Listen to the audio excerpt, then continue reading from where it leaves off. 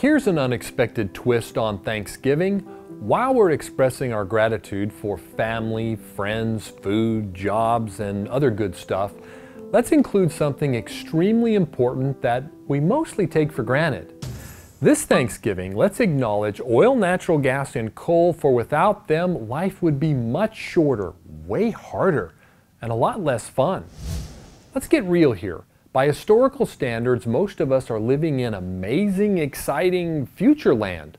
We could spend hours, days really, talking about all the ways that fossil fuels make our lives healthy, productive, comfortable, safe, and generally pretty great.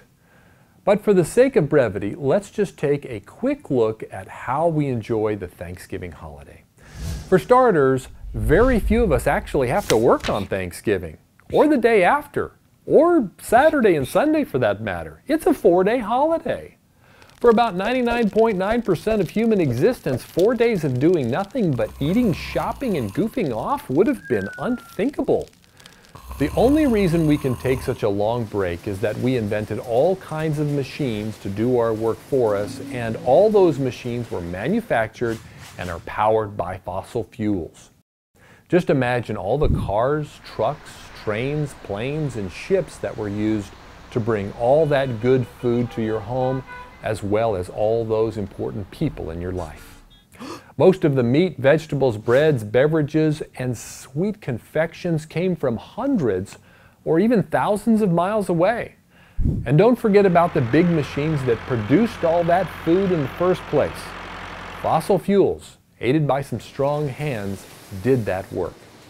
And by the way, natural gas and oil were used as feedstocks for the plastics, rubber, lubricants, and a multitude of petrochemicals used to package your Thanksgiving feast. Don't forget about the natural gas range and the electric oven that are used to cook the food and keep it warm.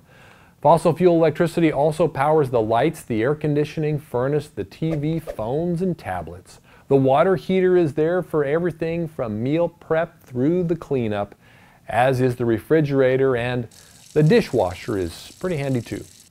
Okay, I know you get it. I don't need to mention that oil, natural gas, and coal were used to bring you the seemingly countless football, basketball, and hockey games, or that lots of fossil fuel will be used when buying up everything under the sun on Black Friday. Although I guess I just did that. Yes, let's recognize it's not just fossil fuels that are deserving of our gratitude.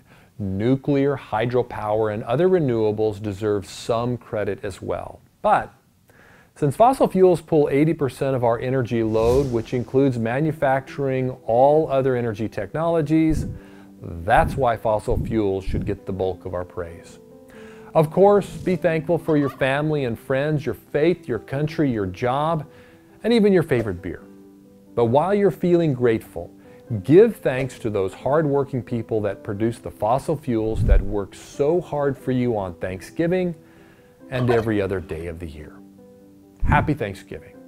For the Clear Energy Alliance, I'm Mark Mathis. Power on.